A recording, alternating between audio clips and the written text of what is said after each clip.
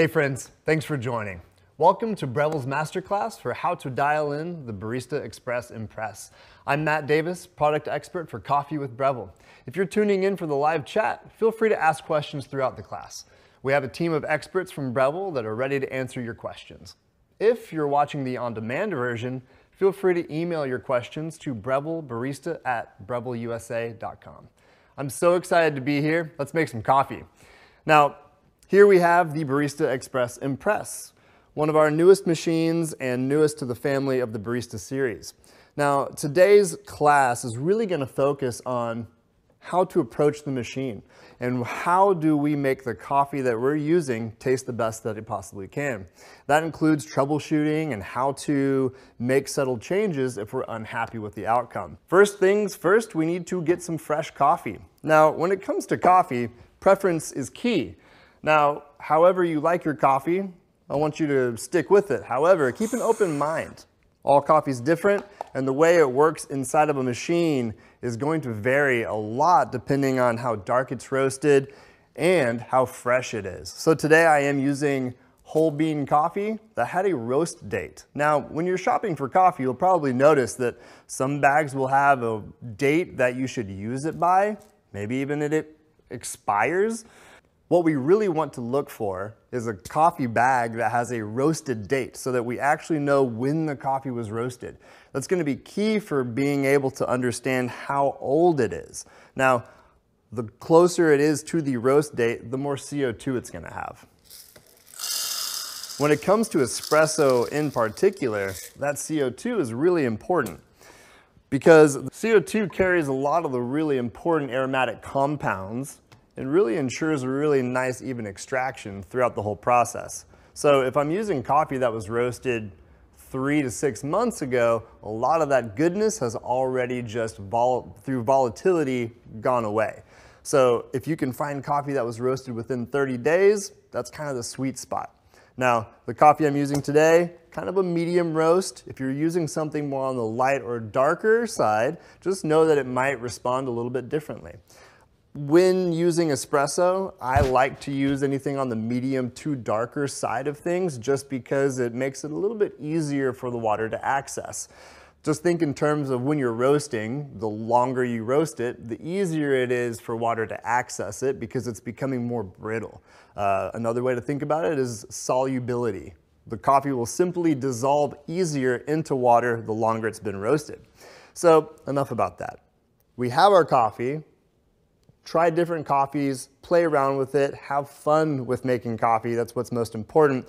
Now let's talk about the machine itself. Now, when you unbox your machine, you'll probably notice a lot of doodads, a lot of accessories, and you're probably trying to understand what they're for and how you use them. So let's quickly just understand that. First things first, all of our machines have a really tidy accessories bin to keep it all really organized.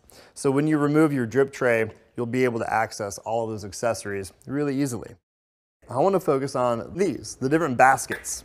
The rest of them we're gonna tuck away for later use. Okay, so the razor we're going to address in just a second. It's a really important part of the dialing in process. But before we get there, a lot of people get hooked on what are these for? What do I use and when do I change it? Well, it depends on your situation. If you're using whole bean, freshly roasted coffee, I like to use what we call the single wall basket. Now, the way to identify that is if you look inside, you'll see all these tiny holes, and then if you flip it to the bottom, you'll still see all those little holes. The opposite of that would be a very similarly looking basket where still have all the holes on the inside, but on the back, you'll see an extra little wall. Now, this is called the dual wall basket or a pressurized basket. The purpose of this is it's going to engineer back pressure. What I mean by that is when we're brewing espresso, we're putting coffee in the basket, and then we're forcing water through a pump through those coffee grinds. It's our job to ensure that that water passes through evenly and we hold back the water long enough for the water to extract all the coffee. If the water is able to pass through too quickly, we'll get under extracted coffee. So if you're using coffee that was either pre-ground or not very fresh, this is a great tool to help hold back that water just a little bit longer. For today, we're using the single wall. I got freshly roasted coffee, and I wanna be able to pull out all the intricate flavors inside that coffee. Just know that the pressurized basket is a great tool, even if you're just getting started, to get a better shot a little bit more quickly. I can tuck those away for now because I'm not gonna use them. Two other things that I would love for you to think about including in your workflow. A knockbox, maybe a scale, helps with consistency, not mandatory, but what I really like to put focus on is two washcloths. Now, these could be bar towels, kitchen towels. I'm using microfiber and I have one that's gonna stay dry that I focus on using for cleaning out my portafilter so it's dry. And then the other one's gonna be slightly damp and I'm gonna keep that just for my steam wand. So we'll use that later. Having these types of tools really helps with my workflow so that when I approach my machine, I'm able to get exactly what I want keep it really nice and clean and walk away and I don't feel like it was really cumbersome workflow. Okay, we have that out of the way. Now let's talk about actually making coffee. So we have our portafilter. We're going to do what we call puck preparation. So we're going to get coffee into the basket, ensure it's the right grind size, the right amount of coffee, otherwise known as dose. Think about it as your recipe. How much coffee? How much water? And then we're going to ensure that it's tamped or compressed down before we can actually brew it. And I'll talk you through the whole way. So we're going to put our portafilter into this cradle. And for today's demo, I'm actually going to remove this cover so that we can see what's happening. Now, we could easily leave this on. It's just an aesthetic cover plate to make it look really nice. But it also gives you lots of insights to what's happening and makes it really easy to clean. So as soon as the portafilter goes into the cradle, you'll notice on our interface a lot of instruction to support the workflow. So it makes it a lot easier to remember. So as soon as the machine knows that my portafilter is in, you'll notice the first button illuminates, our dose. So dose simply means putting the coffee into the portafilter, so we can go ahead and do that now.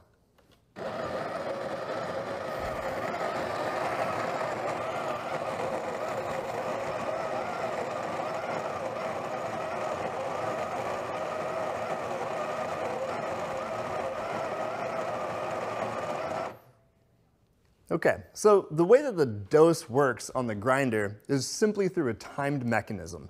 So the machine knows to grind the coffee for a set amount of time, which then dictates how much coffee ends up in the portafilter. So let's say by default it runs for 14 seconds. Well, the machine doesn't know what type of coffee I'm using, because that's gonna change how easily it's ground.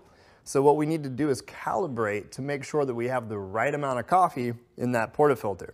This is the greatest thing about this machine is it's now telling me to tamp and what's gonna happen is as I tamp by pulling down on this lever, the machine is also able to sense the depth of the coffee bed telling me if I have the right amount of coffee. Now you'll notice that on my first go, I got the perfect dose with that green light next to the smiley face makes me feel great. Nothing like positive affirmation on that. Now, however, if it was not on the green light, let's say it was a little bit under, the dose button would then start blinking. That would tell me that I need to add a little bit more coffee. And what would then happen is the machine would actually correct itself and remember it for next time. Now I've ground my coffee. I'm on grind setting seven so what we're going to do is move our portafilter over to the group head. This is just simply where hot water is dispersed out of what looks like a shower screen.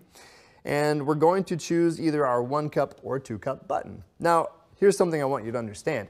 There is no real difference when it comes to using the one to two cup button in correlation to a single or double basket, right? So we have different baskets that allow different amounts of coffee, but all that changes is how much water passes through that given amount of coffee. Now I'm using the double basket, so you would think that I would need to use the two cup button, which that's what I'm going to do.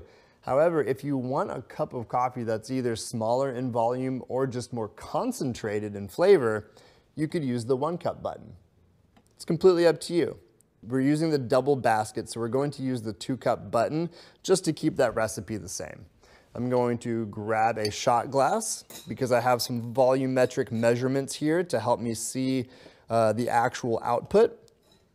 And what I'm going to do is push the two cup button and I'm going to check the time of how long it takes that water to pass through that puck of coffee. Because this machine is a volumetric machine. And what that means is that it's going to automatically stop when a given amount of water passes through the machine. So this one is programmed from the factory to give about two ounces of water.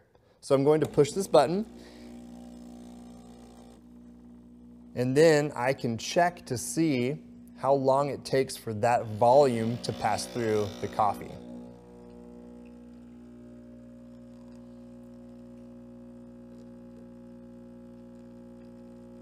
Okay, now we can see that the coffee is looking pretty delicious, but if you look on the pressure gauge, it's a little shy of the actual espresso range. And all that means is that we're not quite providing enough resistance, that back pressure that we were talking about, right? So our responsibility as the barista in this situation is to adjust our grind setting so that the coffee particles are small enough to hold back the water a little bit longer. So for reference, we want the water or the coffee to start dripping around 10 seconds. And that starts as soon as you push the button right? So as soon as the water starts coming into contact with the coffee, we want to see the first drops around 10 seconds, and then we want the final beverage to finish anywhere between 22 to 37 seconds. Now, it's a big range because it completely depends on what kind of coffee you're using. Something to look for is when the first bit of coffee starts dripping out, you don't want the actual fluid to look really erratic. You don't want it moving back and forth a lot. You want it to look really consistent and kind of imagine what warm honey would look like dripping out of those spouts. Regardless of what comes out of your machine, I highly encourage you to taste it regardless because it's really helpful to understand the coffee you're using and the machine to become a better barista just by understanding what a good or bad shot of espresso tastes like. Now, by no means was that a bad shot of espresso, but it wasn't exactly what I want. So I'm actually going to knock out this puck. Should come out pretty easily. Wash my portafilter, making sure it's nice and dry and clean. And then I'm gonna go back and repeat the exact same process. So again, step one is to put it into the cradle. However, this time I'm going to change my grind setting. We don't want to do a lot of clicks at a time because then we could end up chasing our tail. I encourage anywhere between two to three clicks of a grind adjustment at a time. So we went from seven to five. Now we can just repeat that same process with our dose.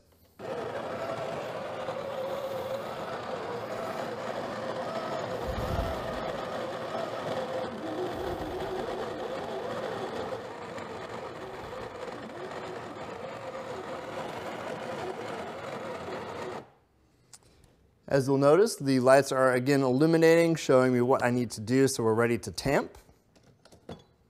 Now, because I made that grind adjustment, less coffee is coming through in the same amount of time, so we actually need to calibrate our dose. So you'll notice these lights are now telling me I don't have enough coffee, so the machine is telling me I need to add a bit more. So by hitting the dose button again, I'll add just a little bit more coffee. And we'll do this probably a few times until we get right where we need to be. So you'll notice we're just almost there. So the way it works is you'll dose, tamp, dose, tamp back and forth. And each time you tamp, that's allowing the machine to register the new change. And as soon as you hit the green light, that machine will then remember whatever time adjustments it made so it'll hit the dose perfectly the next time. So we are perfectly tamped, distributed, dosed, ready to go. We can put it back into the group head and again, hit that two cup button. You would then want to start a timer, whether you're using a separate stopwatch or your phone as just a helpful tool here. Paying attention to our pressure gauge, now we're getting the perfect amount of back pressure. Our streams are looking like warm honey. They're not flowing back and forth a whole lot. This shot looks perfect.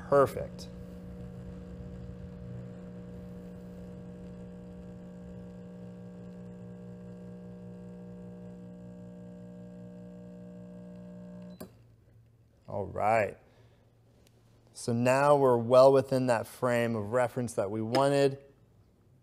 We have a shot that looks a little bit more concentrated. It's gonna have a lot more flavor to it. Uh, it's also gonna have more body, meaning like the thickness or the consistency that you actually feel in your mouth, uh, which is going to go a long way if you're adding something like hot water, milk, or anything. It's going to support the flavor of coffee throughout. So now I can taste the difference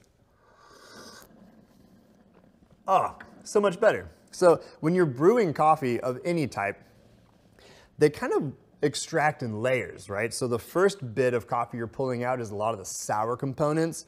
Then you start getting into the really sweet stuff, and then you top it out with the bitter components. So you really want like a perfect balance of all three. And when you get the extraction right, you're gonna taste it. You're not gonna end up with that like papery mouthfeel afterwards it's just going to be pleasant. It's going to make you want to go back for more versus wanting to chase it with something different. but again, every coffee will taste different. Try to find that sweet spot. These are just really helpful parameters to get started. I would now call this machine dialed in. So we are now done with the coffee portion, which is exciting. Uh, and now we can focus on the milk side of things. So I'm just going to take these cups, put them away and I'm going to switch to a larger vessel and we're going to talk about milk. Now, before I do that, I am going to pull one more shot of espresso just to use as the base of this beverage. Now, what's really great about espresso is once you pull a good shot, you're now, you now have the basis of pretty much every beverage you can imagine, whether it's a cappuccino, latte, an iced latte, anything. Um, so really spend time getting the shot just right and then really just have fun with it afterwards. So same process.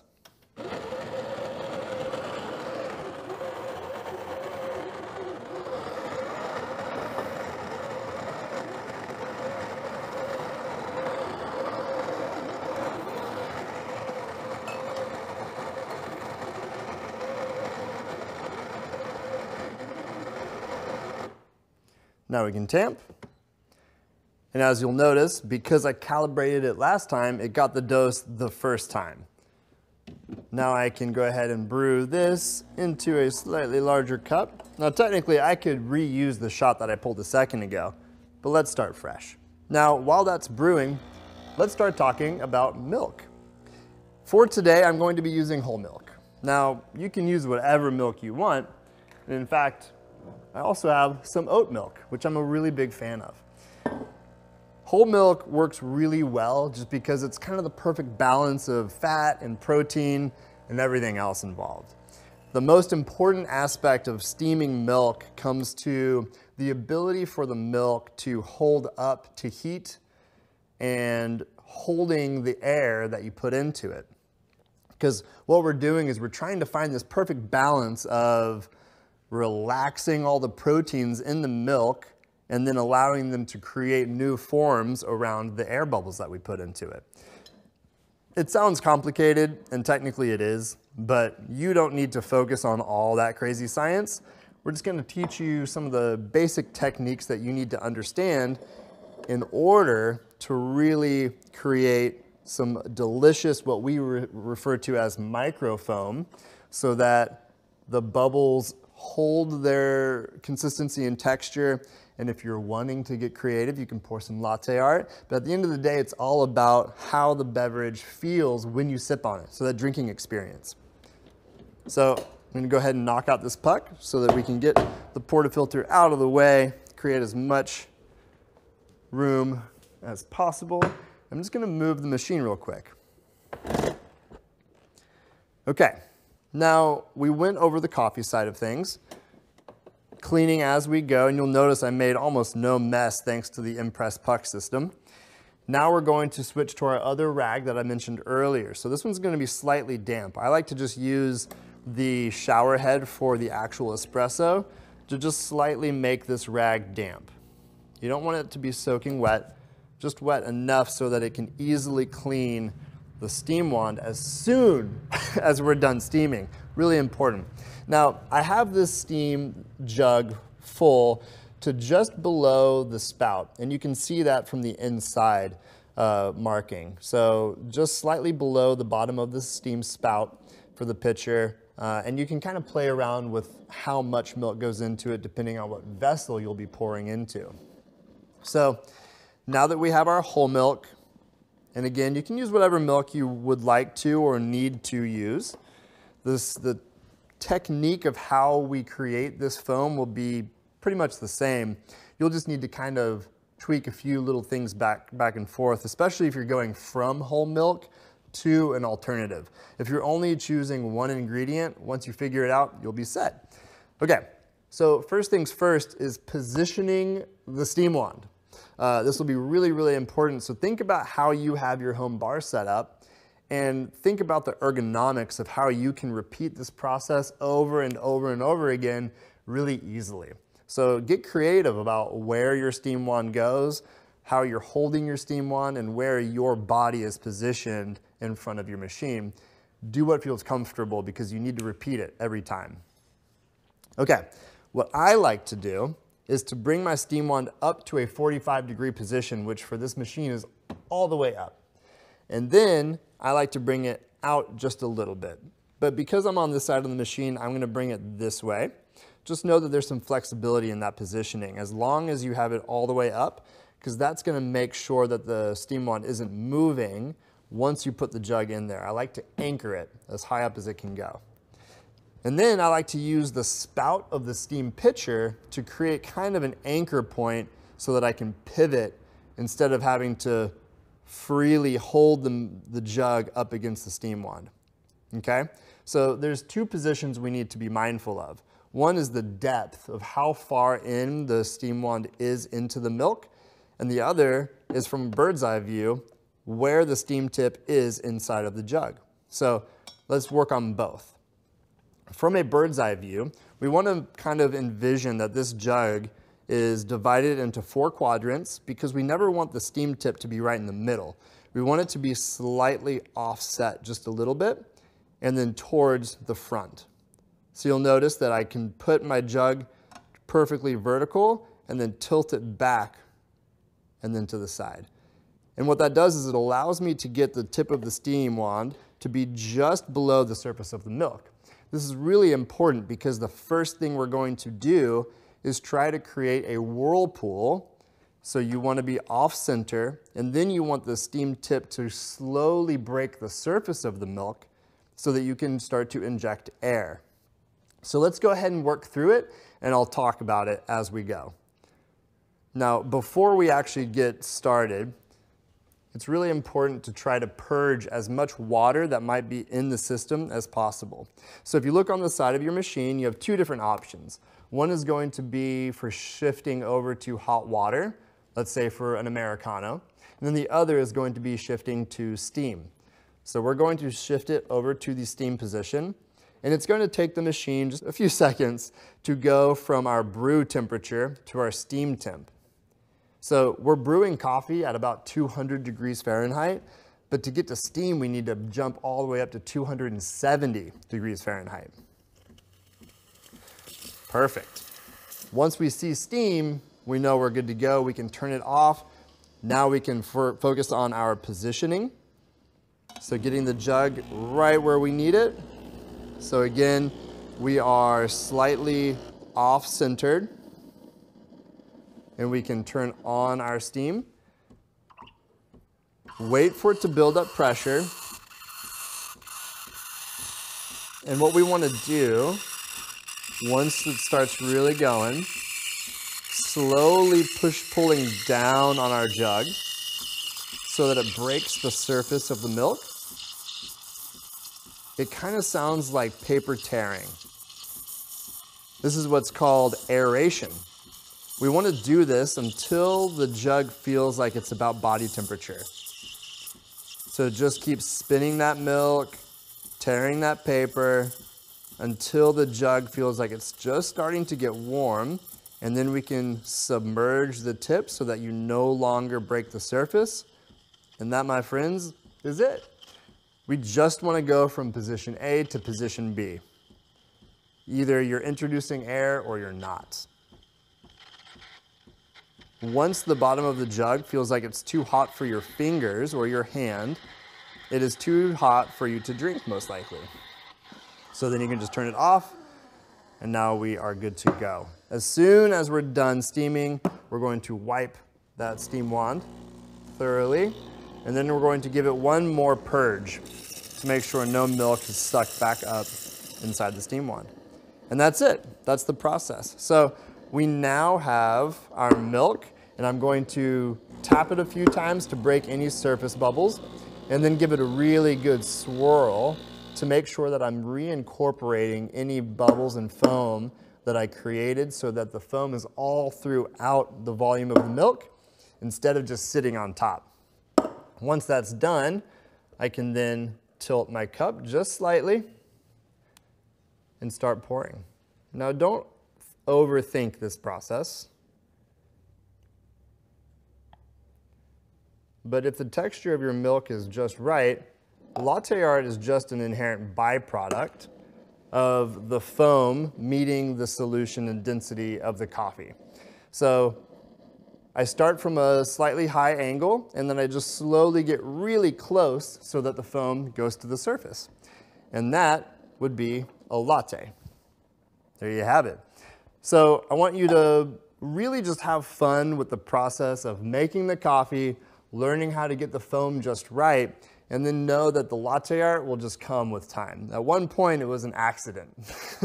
so if you get your density and your foam just right, you'll end up with something similar, and then you can start practicing that technique over and over again.